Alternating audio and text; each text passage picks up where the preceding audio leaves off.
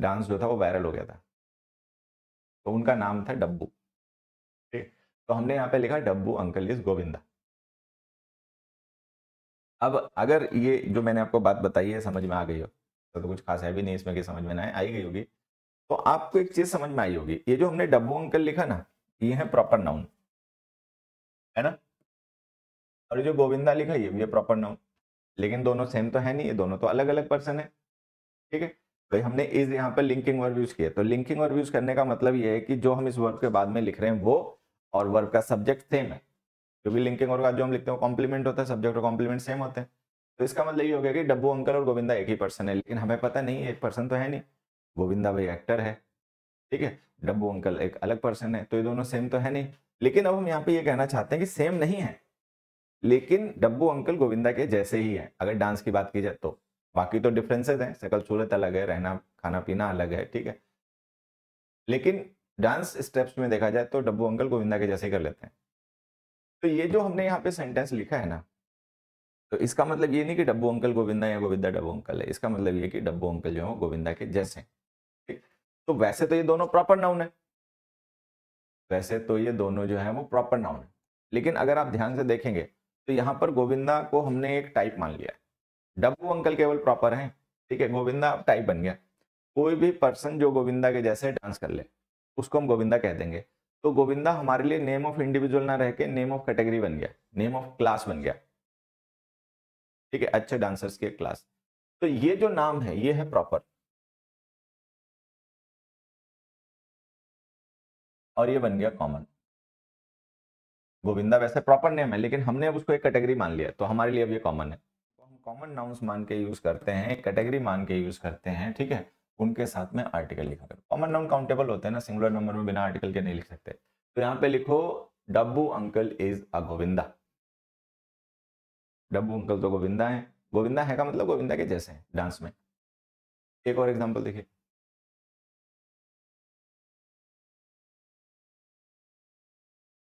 मैंने लिखा my friend is Einstein मेरा दोस्त आइंस्टाइन है। आइंस्टाइन तो बहुत पहले मर गया। ठीक है? तो आइंस्टाइन तो अब नहीं हो सकता, क्योंकि he is dead he is no more actually लेकिन हाँ कोई ऐसा पर्सन जो कि बहुत तेज दिमाग हो, बहुत इंटेलिजेंट हो आईक्यू लेवल जिसका बहुत अच्छा हो, ठीक है? उसको हम ये कह सकते हैं कि ही इज़ आइंस्टाइन तो actually he is not an Einstein but he is like Einstein Einstein के जैसा है। तो आइंस्टाइन को हमने क्या किया? कैटेगरी मान लिया। कोई भी हाई आई क्यू का पर्सन कोई भी जो बहुत इंटेलिजेंट हो पढ़ने लिखने में अच्छा हो विज्ञान में उसका दिमाग चलता तो हमने उसको कह दिया कि ये तो आइंस्टाइन है। एक्चुअल में वो आइंस्टाइन नहीं है लेकिन आइंस्टाइन के जैसा है। तो हमने आइंस्टाइन को कैटेगरी मान लिया। कैटेगरी मान लेने का मतलब कॉमन नाउन हो गया। कॉमन नाउन काउंटेबल होते हैं सिंगुलर नंबर बिना आर्टिकल के नहीं आते। तो हमने इज़ नहीं। इससे हम पढ़ते हैं ना। अभी जो सेंटेंस लिखा ना हमने बच्चे इस पर एक बार ध्यान दें और इसको सही करने की कोशिश करें। Kalidas Shakespeare of India. अब यहाँ भी आप देखोगे तो वैसा ही है कि कालिदास जो है, कालिदास जो है ये प्रॉपर नाउन है। अब हम कालिदास को कह रहे हैं कि कालिदास जो है वो इंडिया के शेक्सपियर है। Actually he is not Shakespeare Shakespeare was a different person वो एक अलग व्यक्ति था। लेकिन हमने क्या किया, जिस तरीके से शेक्सपियर ने इंग्लिश लैंग्वेज में काफ़ी रिच लिटरेचर लिखा, अच्छे ड्रामाज लिखे प्लेज लिखे, ठीक है? तो उसी तरीके से संस्कृत लैंग्वेज में इंडिया में कालिदास जी ने लिखा। तो हमने शेक्सपियर को क्या किया? कैटेगरी मान लिया। अब हम यहाँ पे शेक्सपियर वर्ड लिखकर शेक्सपियर पर्सन को नहीं रेफर कर रहे अब हम रेफर कर रहे हैं उस कैटेगरी के लोगों को शेक्सपियर के जैसे जिन्होंने अच्छा लिटरेचर लिखा। तो ये कॉमन नाउन है, ये प्रोनाउन लिख दिया गलती से एक मिनट ये प्रॉपर है। तो जब ये नाउन कॉमन हो गया तो हमें पता है कॉमन नाउन काउंटेबल होते हैं सिंगुलर नंबर के वगैरह आ नहीं सकते। मतलब सिंगुलर नंबर में बिना डिटर्मिनर के आ नहीं सकते तो हमने बिना डिटर्मिनर लिख रखा है गलत है। अब हम इसे सही करना है। कैसे सही करें? तो एक तरीका तो हमने ऊपर ही देखा कि जब हम किसी प्रॉपर नाउन को कॉमन नाउन के तरीके से यूज़ करते हैं तो उसके साथ में एन आर्टिकल लिख दिया करो। लेकिन यहाँ पर सिचुएशन ऊपर वाली सिचुएशन से डिफरेंट है। यहाँ पर क्या सिचुएशन है कि हमने यहाँ पर ऑफ़ इंडिया एक फ्रेज लिख रखी है शेक्सपियर को डिफाइन करने के लिए। अभी जो प्रेपोजिशनल फ्रेज है, ये शेक्सपियर के लिए यूज़ हुई है। तो ये शेक्सपियर को डिफाइन कर रही है। शेक्सपियर था इंग्लैंड का, लेकिन कालिदास शेक्सपियर कहाँ के? इंडिया के हैं, ठीक है? तो ये जो शेक्सपियर है, ये है तो कॉमन नाउन लेकिन हमने ऑफ़ इंडिया फ्रेज लिखकर इसे डिफाइन कर दिया। अब डिफाइन कर दिया तो दा लिखना पड़ेगा। तो लिखो Kalidas is the Shakespeare of India. तो ये हमें ध्यान रखना है कि जब हम किसी प्रॉपर नाउन को कॉमन नाउन के तरीके से यूज़ करते हैं तो उसके साथ हमें आर्टिकल लिखने पड़ते हैं, क्योंकि कॉमन नाउन्स होते हैं, वो काउंटेबल होते हैं, वो बिना आर्टिकल के आते नहीं है सिंगुलर नंबर में। अब ए लिखना है या द लिखना है, उसके लिए थोड़ा सा हमें ध्यान देना पड़ता है। अगर हम उसको डिफाइन नहीं कर रहे हैं कॉमन नाउन को, तब तो हम ए एन आर्टिकल ही लिखेंगे। लेकिन अगर हम उसके बाद में कोई प्रेपोजिशनल फ्रेज लिखकर ठीक? उसको डिफाइन कर दे तो फिर हमें द लिखना पड़ेगा। देखो, ये सेंटेंस देखा? अब इसका मतलब ये कि उसके अंदर के शैतान ने उसके सेंस को कंट्रोल कर लिया। कि कोई पर्सन है, बड़ी बेतुकी बातें करता है, बिना सेंस के काम करता है, ठीक है? तो हम कह रहे हैं कि ऐसा क्यों कर रहा है? तो किसी ने बताया कि इसके अंदर के शैतान ने उसको मतलब कंट्रोल कर लिया। तो क्या उस पर्सन के अंदर कोई शैतान होगा? ऐसा होगा क्या उसके अंदर कोई शैतान होगा जिसने उसको कब्जे में कर रखा होगा? ऐसा तो नहीं होगा। यहाँ पे फिर शैतान का मतलब क्या? अब देखो, सारे लोग ध्यान देना कि जैसे गॉड है, ठीक है? किंग है क्वीन है डेमन है फ्रेंड है, ये एनिमी है, ये सारे वर्ड्स कॉमन होते हैं मतलब कॉमन नाउन्स होते हैं। तो डेमन जो है वो एक कॉमन नाउन है। लेकिन यहाँ पे डेमन का मतलब कोई शैतान नहीं है। डेमन का मतलब है इविल स्पिरिट बुराई, शैतानियत, हैवानियत। तो यहाँ पे जो हमने डेमन वर्ड यूज़ किया ना, ये है तो एक कॉमन वर्ड लेकिन एक्चुअली हम इसको यूज़ कर रहे हैं किसी एब्स्ट्रक्ट थिंग को रेफर करने के लिए स्पिरिट को रेफर करने के लिए, ठीक? तो ये एक कॉमन नाउन एब्स्ट्रैक्ट नाउन को रिप्रेजेंट कर रहा है। अब यहाँ पे लैंग्वेज का एक यूज़ आपको सीखना है कि अगर हम कभी किसी कॉमन नाउन को, उससे रिलेटेड एब्स्ट्रैक्ट थिंग्स को फीलिंग हो सकती है, कोई क्वालिटी हो सकती है, कोई इमोशन हो सकता है, उसको रिप्रेजेंट करने के लिए अगर यूज़ करें तो उसके साथ द आर्टिकल लिखा करो। जब कोई कॉमन नाउन किसी एब्स्ट्रैक्ट नाउन को रिप्रेजेंट कर, करने के लिए यूज़ किया जाता है तो उसके साथ में द आर्टिकल तो यहाँ पे डेमन का मतलब शैतान नहीं है डेमन का मतलब है शैतानियत स्प्रिट बुराई। ए ए हटाओ द लिखो तो हम लिखेंगे the demon in him has got control of his senses question देखिए मुझे लगता है थोड़े से आसान है जिनसे आप जल्दी कॉन्टेक्ट समझ पाएँगे जो मैं समझाने की कोशिश कर रहा हूँ। दो ही retired a few years back हालाँकि वो कुछ साल पहले रिटायर हो गया a cricketer in him is still alive लेकिन उसके अंदर का क्रिकेटर अभी भी ज़िंदा है। ठीक है? A mother in her made the lady to feed the crying child उसके अंदर की जो माँ थी, उसने उस लेडी को मजबूर किया बच्चे को खाना खिलाने के लिए जो रो रहा था। अब देखो क्रिकेटर का मतलब है आर्ट कला। कला है क्रिकेट खेलना। तो क्रिकेटर इन हिम का मतलब उसके अंदर जो क्रिकेटर वाली स्पिरिट है, उसके अंदर की जो कला है आर्ट है, वो अभी डेड नहीं है। क्रिकेट में अभी भी उसको इंटरेस्ट है, ठीक है? तो वो कलाकारी उसकी जो है वो अभी गई नहीं क्रिकेटर वाली। तो यहाँ पर जो हमने कॉमन नाउन यूज़ किया ना, वो एक एब्स्ट्रैक्ट नाउन को आर्ट को रिप्रेजेंट कर रहा है। द लिख दो the cricketer in him is still alive अगले में जो हमने लिखा a mother in her made the lady to feed the crying child तो जो अ मदर लिखा ना, इस मदर का मतलब है मदरली फीलिंग्स मदर का मतलब यहाँ पे ऐसा नहीं कि उसके अंदर कोई माँ थी। उसके अंदर माँ नहीं थी, उसके अंदर फीलिंग्स थी माँ की। तो मदरली फीलिंग्स जो मातृत्व होता है वो। माता नहीं मातृत्व, ठीक है? तो ये जो हमने लिखा है ना अ मदर तो इसको कर लीजिए the mother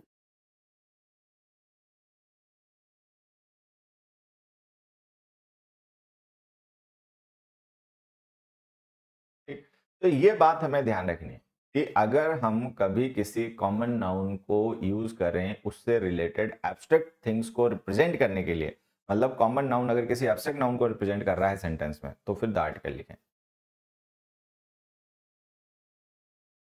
officer in him उसके अंदर का जो अफसर है,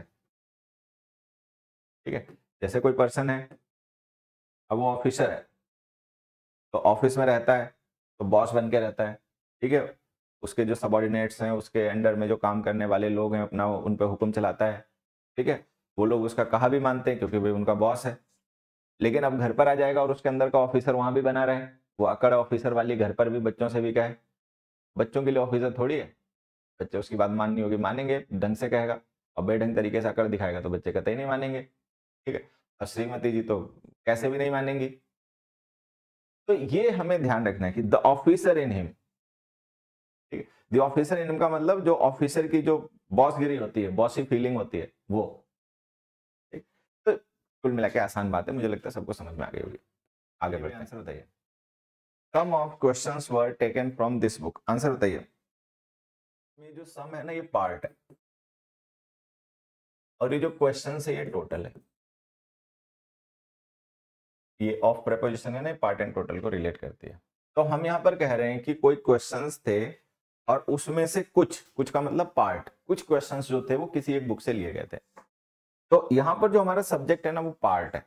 सब्जेक्ट यहाँ पे सारे क्वेश्चंस नहीं है। सब्जेक्ट यहाँ पर है हमारा सम जो कि पार्ट है। आप सभी लोग जल्दी से मुझे एक चीज़ बताएँ।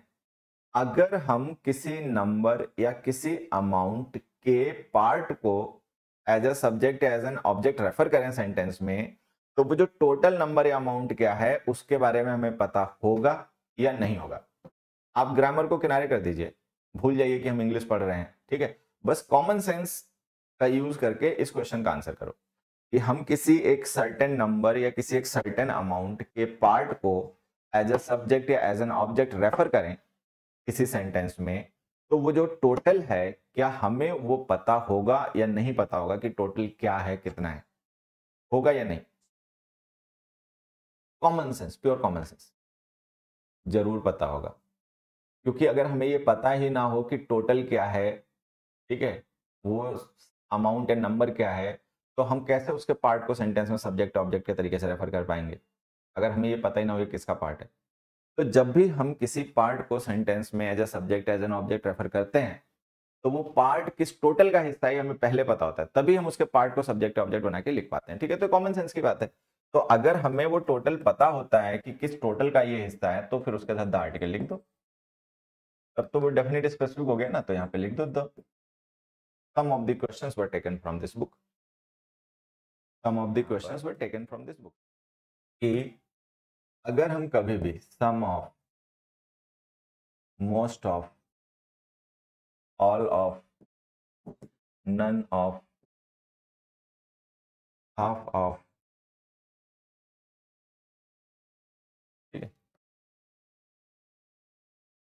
of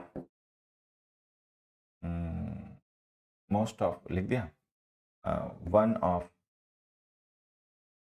either of neither of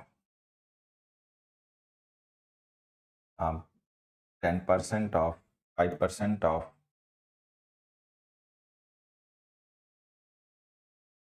etcetera अगर हम इस तरीके का कोई भी एक्सप्रेशन लिखें तो हमें यह ध्यान देना है कि जिस इसके बाद अब जो भी आप नाउन लिखोगे ना वो नाउन टोटल को रेफर कर रहा होगा और उसकी आइडेंटिटी डेफिनेट होगी। तो उसके साथ में हमें द आर्टिकल लिखना है। यहाँ पे देखो ऑफ़ नहीं लिखा, मैं लिख देता हूँ। ईच ऑफ़ ठीक है? तो उसके साथ में हमें द आर्टिकल लिखना है। वन ऑफ़ द रिवर्स ठीक है? One of the rivers neither of the sides तो उसके साथ में द आर्टिकल का यूज़ करना है, ये सबको ध्यान रखना है। चलो, एक और देख लेते हैं एग्ज़ाम्पल फिर एक एग्ज़ाम्पल हमने लिखा बच्चे थर्ड हमने लिखा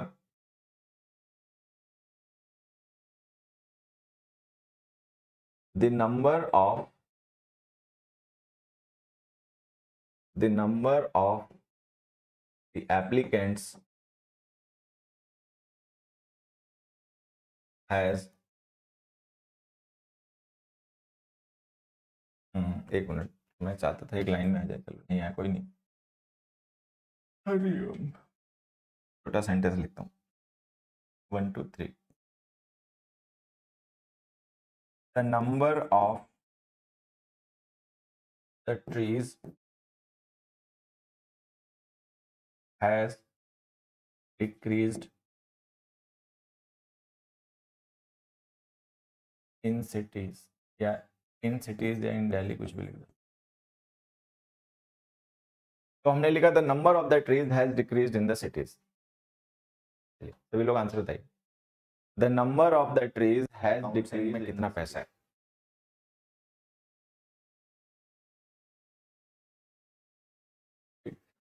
तो जैसे हमने यहाँ पे लिख दिया द अमाउंट ऑफ़ मनी तो ये मनी स्पेसिफिक नहीं है अमाउंट स्पेसिफिक है। तो द यहाँ पे ठीक है यहाँ से हटा लो।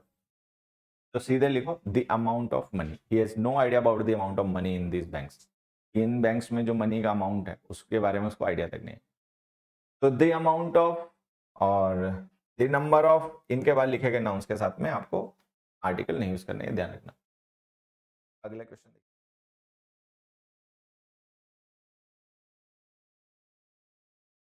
अब देखिए, जैसे हमने ऑल ऑफ़ लिखा तो किस चीज़ का ऑल ऑफ़ ये हमें बताना पड़ेगा। तो जैसे ऑल ऑफ़ तो हमने लिख दिया बट ऑल ऑफ़ व्हाट किसका ऑल ऑफ़ तो जिसका भी वो ऑल ऑफ़ होगा, वो कोई डेफिनेटली होगी थिंग तो उसके साथ लिखो the all of the guest have left now सही हो गया। अब ये जो ऑल ऑफ़ हमने लिखा है ना, ये है प्रोनाउन क्योंकि इसको हमने ऑफ़ से पहले लिख रखा है एज अ सब्जेक्ट अच्छा यहाँ पे जो ऑल हमने लिखा है प्रोनाउन नहीं है, ये है डिटर्मिनर तो आपको ध्यान देना है कि ऑल का अगर हम यूज़ एज ए डिटर्मिनर करें तो जो नाउन के साथ हम द आर्टिकल यूज़ करते हैं ना, वो पहले नहीं ऑल के बाद में लिखा जाएगा। तो इसको ऐसे लिखना all the guest have left now all the guest have left now और ये जो हम द लिख रहे हैं ऑल द गेस्ट लिख रहे हैं, ये एक्चुअल में ऑल ऑफ़ द गेस्ट की शॉर्ट फॉर्म है। तो ऑल ऑफ़ द गेस्ट को ही हम शॉर्ट में ऑल द गेस्ट लिख बोल देते हैं, लेकिन वो द ऑल गेस्ट नहीं होता, वो होता ऑल द गेस्ट हालाँकि हम बात को ऐसे भी ध्यान रख सकते हैं, नहीं तो फिर भी मैं आपको एक मौका देता हूँ चीज़ों को समझने का। देखिए, मान लो मैंने लिखा these all books all these books. अब ये जो दो हमने यहाँ पे नाउन फ्रेजेस लिखी हैं, इनमें डिफरेंस आपको दिख रहा है? ये फ्रेज ए हो गई, ये फ्रेज बी हो गई।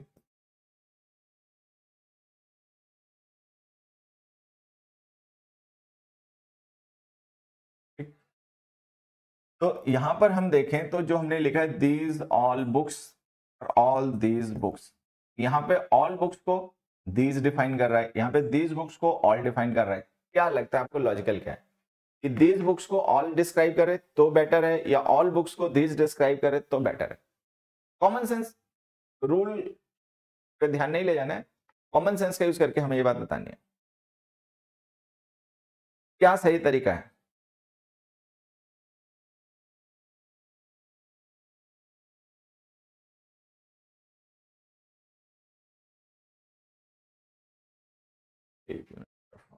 बताओ भाई।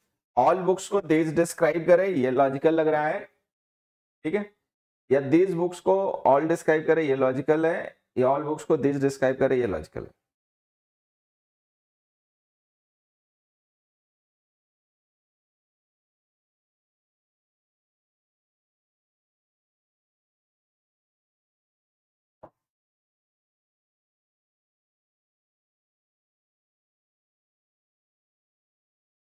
देखो।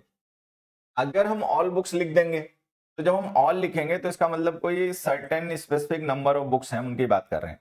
तो वो बुक्स हमारे लिए डेफिनेट हो ही जाएँगी, फिर दिस लिखकर हमें बताने की ज़रूरत ही नहीं जब ऑल बुक्स हम कहेंगे तो हमें ये भी पता चल जाएगा कौन से वाली बुक्स तो अगर दिस ऑल को डिस्क्राइब कर रहे हैं ना तो इट डजेंट सीम लॉजिकल क्योंकि जब हमने ऑल बुक्स कह ही दिया है तो कौन सी ऑल बुक्स हैं, वो कहाँ पर रखी है, कहाँ नहीं रखी है, हमें पहले ही पता होगा।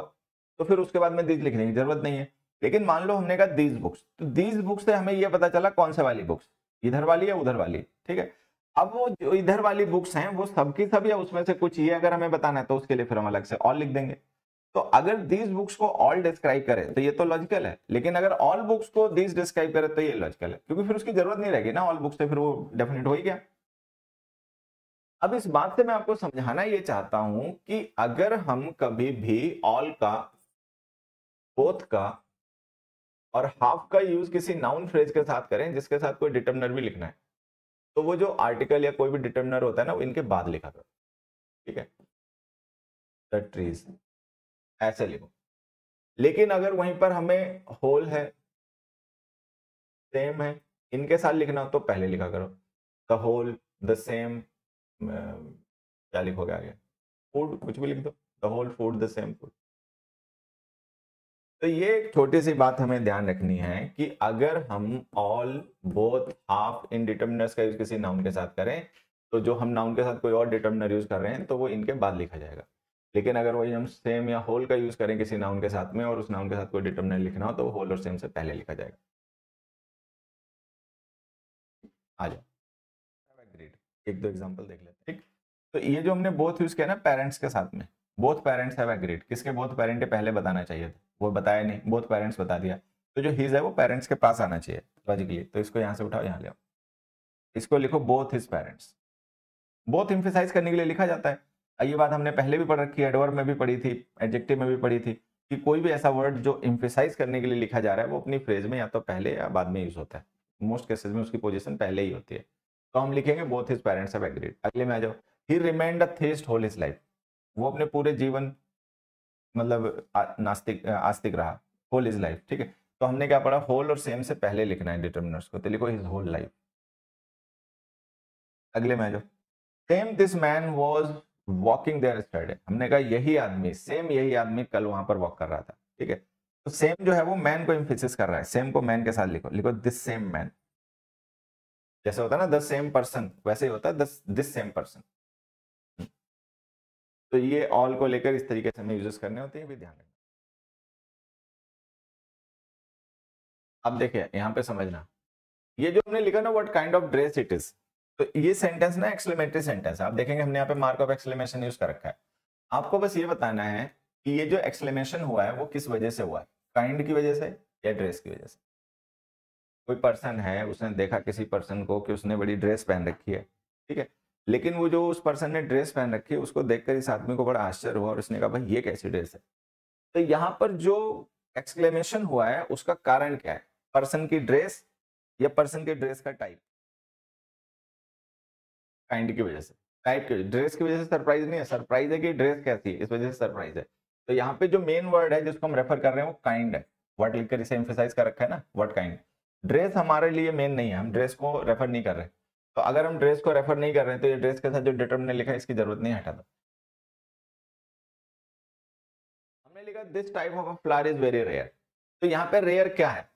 फ्लावर रेयर है कि उसका टाइप रेयर है। तो ध्यान दोगे तो अपने आप समझ में आएगा टाइप रेयर है। तो इस टाइप ऐसा टाइप रेयर है। फ्लावर रेयर नहीं है, उसका जो टाइप है फ्लावर्स का, वो रेयर है। तो यहाँ पे हम टाइप को इम्फेसिस कर रहे हैं, ना कि फ्लावर तो अगर हम फ्लावर को इम्फेसिस नहीं कर रहे हैं फ्लावर हमारे लिए इंपॉर्टेंट नहीं है, हम उसकी बात नहीं कर रहे तो उसको डिटर्मिन मत करो। देखो, बड़े कॉमन सेंस की बात होती है कि हम किसी भी नाउन के साथ में डिटर्मिनर तब लिखते हैं जब हम उसकी बात कर रहे हैं और हमें बताना हो कि वो कौन से टाइप का है। तो अगर कोई नाउन हमारा टॉपिक ऑफ़ द टॉक ही ना हो, अगर वो हमारा टॉपिक ही नहीं है, हम उसकी बात ही नहीं कर रहे तो हम उसको डिटर्मिन क्यों करेंगे? आर्टिकल डिटर्मिनर होते हैं, इनका यूज़ हम किसी नाउन के साथ इसलिए लिखते हैं, करते हैं, जिससे हम ये बता पाए कि हम जिस नाउन की बात कर रहे हैं, वो कैसा है, उसका टाइप क्या है। लेकिन जब हमें उस नाउन की बात ही नहीं करनी है, वो हमारा टॉपिक ही नहीं है टॉपिक उसका टाइप है तो हम उसके साथ डिटर्मिनर क्यों लिखें? तो इनके kind of type of short of के बाद में डिटर्मिनर मत लिखा करो। मैं यहाँ पे इसको लिख देता हूँ अलग से अपना ध्यान रखना। Use no article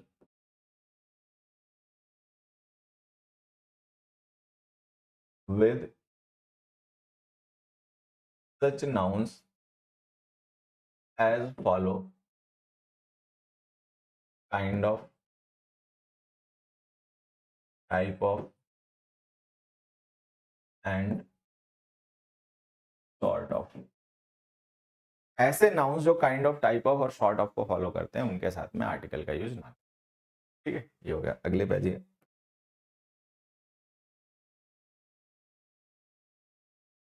देखिए, ये जो हमने सेंटेंस लिखा बच्चे, क्या है? इसमें द रेफरी सब्जेक्ट है। डिक्लेयर्ड वर्ब है। रेफरी ने डिक्लेयर किया किसे? मोहन को। मोहन ऑब्जेक्ट है। क्या डिक्लेयर किया? द विनर विनर डिक्लेयर किया। तो यहाँ पे ध्यान से देखो, ये जो विनर है वो मोहन है ना, वो अलग अलग पर्सन नहीं है।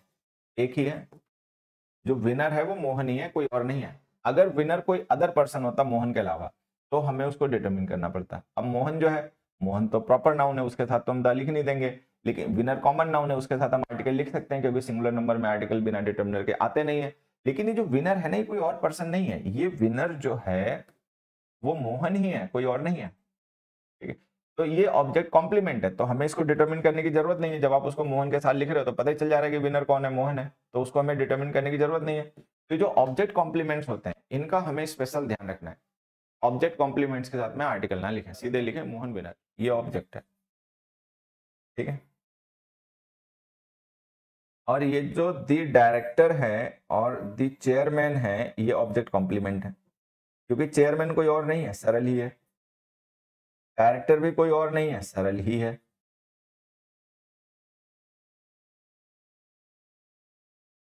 तो हम ऐसे कह सकते हैं, ये जो सरल है, वही डायरेक्टर है और जो सरल है, वही चेयरमैन है। तो ऑब्जेक्ट कॉम्प्लीमेंट है, कोई अदर पर्सन तो है नहीं। अच्छा ये जो है, वो अपॉइंटेड हमने लिखी है, हमारी वर्ब है। दे सब्जेक्ट है।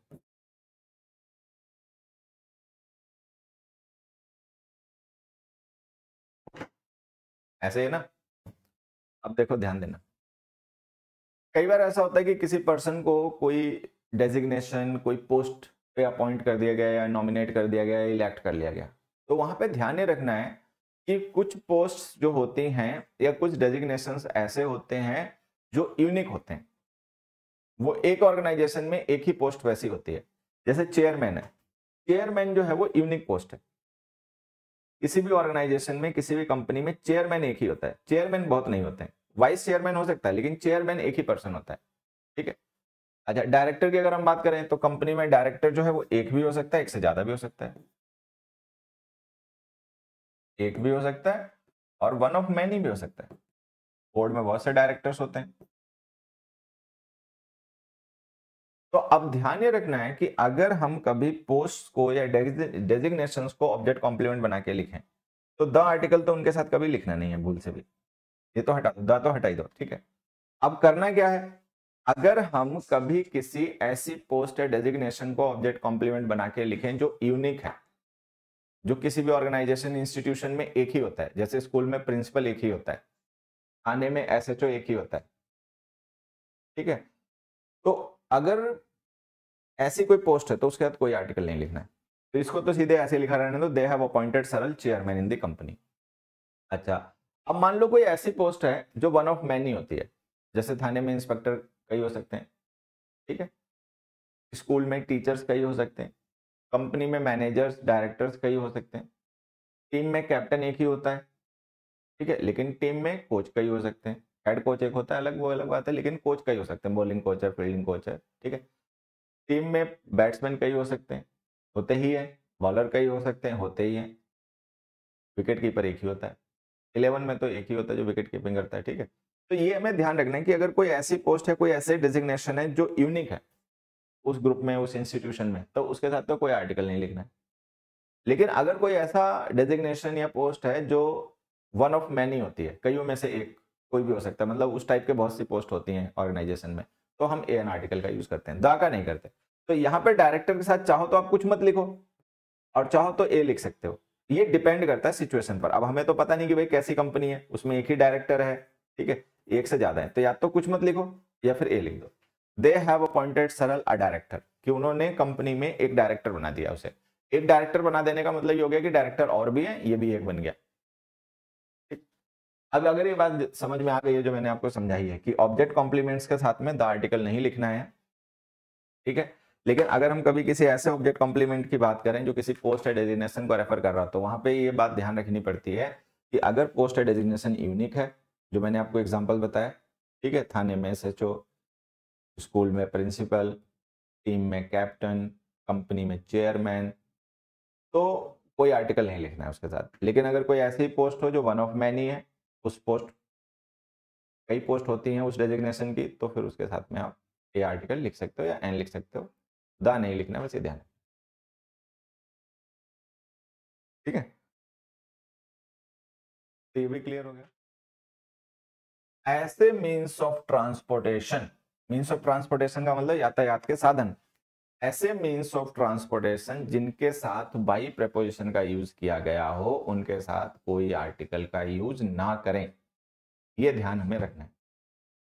अब देखिए, ये जो हमने दो सेंटेंस लिखे, इसमें हमने दो मीन्स ऑफ़ ट्रांसपोर्टेशन लिखे। हैं एक हमने लिखा है बस लिखा कार अब बस के साथ हमने प्रपोजिशन लिखी है बाई कार के साथ प्रपोजिशन लिखी है इन तो जब हम किसी भी मीन्स ऑफ़ ट्रांसपोर्टेशन के साथ में बाई प्रेपोर्शन लिखें तो वहाँ पे आर्टिकल का यूज़ ना करें। तो सीधे लिखो by bus he there by bus लेकिन अगर हम किसी मीन्स ऑफ़ ट्रांसपोर्टेशन के साथ में कोई दूसरी प्रेपोजिशन लिखें बाई को छोड़कर तो फिर वहाँ पे प्रेपोजिशन लिखा करो, उसके साथ आर्टिकल लिखा करो। कुछ भी लिखो। इन हिज कार लिखो इन दिस कार लिखो इन दैट कार लिखो। नहीं कुछ समझ में आए तो ए कार लिख दो इन अ कार तो he went there by bus but return in a car अब हमें एक चीज़ और समझनी है। कि हम बाई बस जैसे लिख रहे हैं, उसी तरीके से हम बाई कार क्यों नहीं लिख दे रहे हैं? क्या हम बाई कार लिख देते तो सही हो जाता? तो आंसर है कि हाँ तब भी सही हो जाता।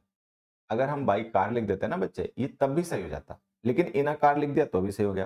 तो अभी हमें समझना है कि डिफरेंस क्या होता है? अगर हम बाई कार लिखें या इना कार लिखें तो देखो बाई प्रपोजिशन का यूज़ हम करते हैं जनरल मीन्स ऑफ़ ट्रांसपोर्टेशन के लिए। जनरल लेकिन अगर मान लो कभी कोई मीन्स ऑफ़ ट्रांसपोर्टेशन स्पेसिफिक हो या हमें उसको स्पेसिफाई करना हो तो हम उसके साथ बाई नहीं लिखते। जैसे हमने लिखा by auto by plane by train by car by road by ship तो ये जनरल मीन्स ऑफ़ ट्रांसपोर्टेशन है। मतलब हम कोई पर्टिकुलर शिप कोई पर्टिकुलर रोड कोई पर्टिकुलर ऑटो की बात नहीं कर रहे हैं। जनरल की बात कर रहे हैं तो हम बाई लिखते हैं। लेकिन अगर हम किसी एक पर्टिकुलर ऑटो या कोई स्पेसिफिक ऑटो की बात करें तो फिर हमें बाई नहीं लिखना। फिर प्रिपरेशन दूसरी लिखनी है। कौन सी दूसरी लिखनी है? आज उसको भी समझ लेते हैं। देखो specific means of transportation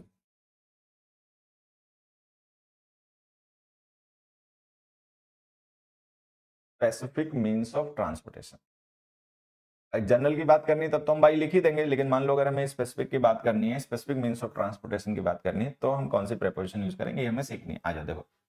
तो हम प्रेपोजिशन या तो लिखते हैं इन या लिखते हैं ऑन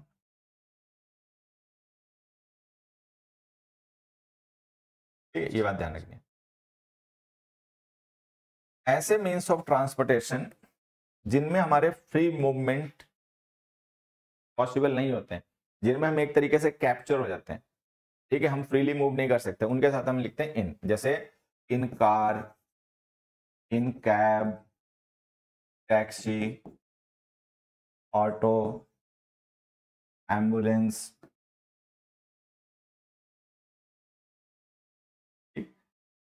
helicopter boat etcetera अब बोट में हम कवर नहीं होते हैं। जैसे आपने देखा होगा बोट में हम कवर तो नहीं होते, लेकिन हम फ्रीली उस पर वॉक नहीं कर सकते। बैलेंस बनाने के लिए बैठना ही पड़ता है, ठीक है? तो हम बोट के साथ भी इन्हीं लिखते हैं। एक बहुत फ़ेमस नॉवल भी है तो मैं से हो सकता है किसी ने अकेडमिक में पढ़ा भी हो। बोर्ड के सिलेबस में होता है three man in a boat ठीक है? तो बोट के साथ भी हम इन लिखते हैं। तो ऑन का यूज़ हम करते हैं ऐसे मीन्स ऑफ़ ट्रांसपोर्टेशन के साथ में, जिनमें हमारा फ्री मूवमेंट हो सकता है, जिनमें हम फ्रीली मूव कर सकते हैं, ठीक है? और हम उनमें कैप्चर नहीं होते कैप्टिवेट नहीं होते। जैसे on bus plane train ship bike, bicycle.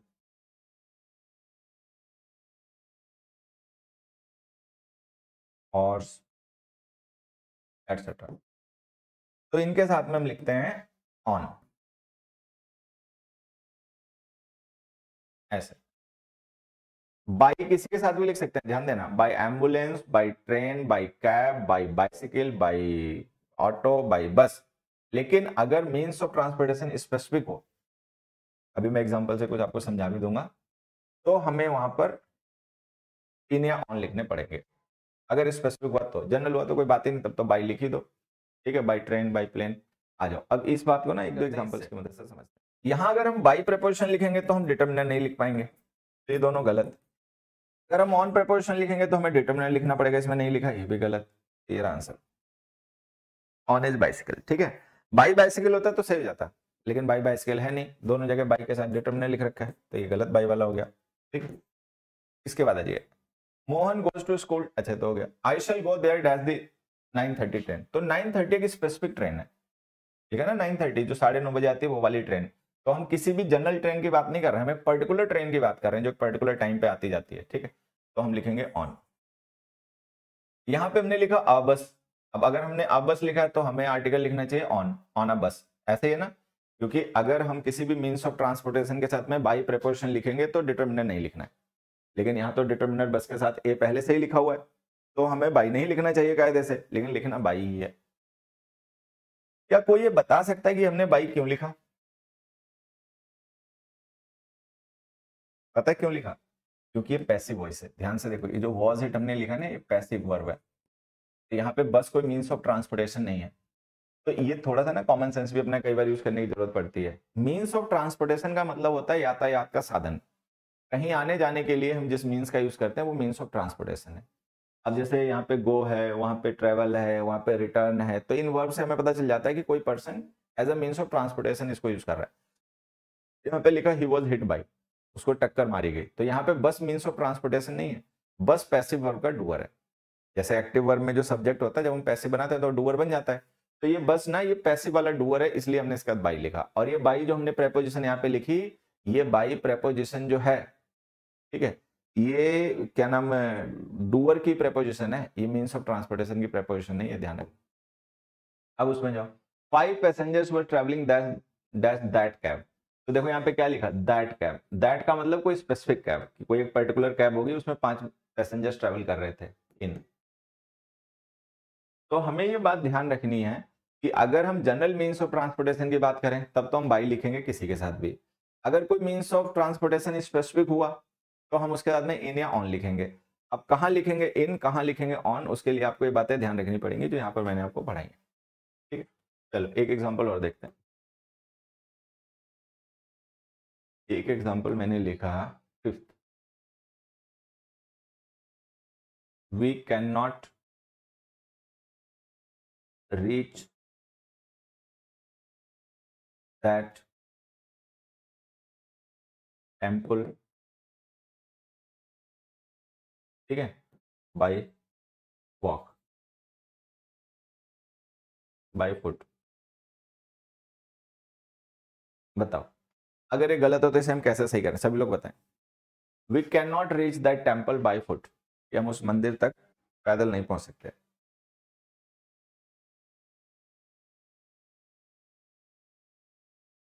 अब देखो, अगर कोई पर्सन है जो पैदल कम्यूट करता है, पैदल आता जाता है तो उसके लिए बस एक ही फ्रेज होती है ऑन फुट और कोई दूसरा तरीका नहीं होता। Always use on foot always use on foot if someone walks अगर कोई पर्सन वॉक करता है, कोई मीन्स का यूज़ नहीं करता तो हमेशा ऑन फुट यूज़ करना है।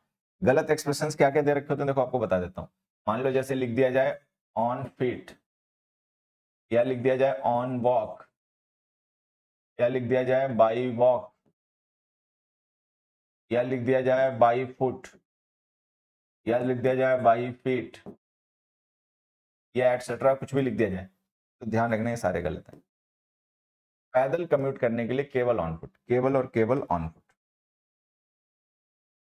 I would go to my school on foot पैदल जाता था अपने स्कूल ठीक है? पैदल अगर कोई पर्सन कम्यूट करता है तो उसके लिए हमेशा हमें ऑन फुट का ही यूज़ करना है ध्यान रखना ये ध्यान से आप देखोगे ना तो पाओगे पब्लिक प्लेसेस हैं। ठीक है? ये पब्लिक प्लेसेस हैं। स्कूल कॉलेज यूनिवर्सिटी और ये किसी न किसी एक्टिविटी से रिलेटेड होते हैं। स्कूल कॉलेज यूनिवर्सिटी लर्निंग के लिए टीचिंग के लिए होते हैं। हॉस्पिटल मेडिकल ट्रीटमेंट के लिए होता है। जेल प्रिजन पनिशमेंट के लिए होते हैं। चर्च टेंपल वर्शिप के लिए प्रेयर्स के लिए होते हैं। तो अगर इन प्लेसेस को उस पर्पज के लिए, जिस पर्पज के लिए होते हैं विज़िट किया जाए तो इनके साथ कोई आर्टिकल मत लिखा करो। Use no article with them तो ये जो सेंटेंस है the court send the thief to the jail कि कोर्ट ने चोर को जेल भेज दिया तो जेल इसीलिए होती है। चोरों को क्रिमिनल्स को भेजने के लिए ही होती है। तो ये जो हमने द लिखा है गलत है, हटा दीजिए। सीधे लिखे द जेल ठीक? The court send the thief to jail हो गया सही। अगला देखो। अगर ये सेंटेंस मान लो केवल इतना होता। आई वेंट टू हॉस्पिटल तो ये सही है। मैं हॉस्पिटल गया, दवा लेने गया। इलाज करने गया, मान लो मैं डॉक्टर हूँ तो अगर मैं डॉक्टर हूँ तो मैं हॉस्पिटल जा रहा हूँ, इलाज करने किसी का तो ठीक है। मैं बीमार हूँ, पेशेंट हूँ, मैं हॉस्पिटल गया दवा कराए लेने के लिए तो भी ठीक है। लेकिन यहाँ देखो क्या लिखा हुआ है I went to hospital to meet my friend मैं अपने दोस्त से मिलने हॉस्पिटल गया तो ये तो पर्पस नहीं होता हॉस्पिटल जाने का। दोस्त हो सकता है आप कौन पे पेशेंट हो डॉक्टर हो, उससे मतलब नहीं है, लेकिन आप तो उस पर्पज से नहीं गए जिस पर्पज के लिए हॉस्पिटल जाया जाता है। तो आर्टिकल लिखो। तो लिखो I went to the hospital to meet my friend और देखो question number three he went से रिवीजन करो thank you everybody bye bye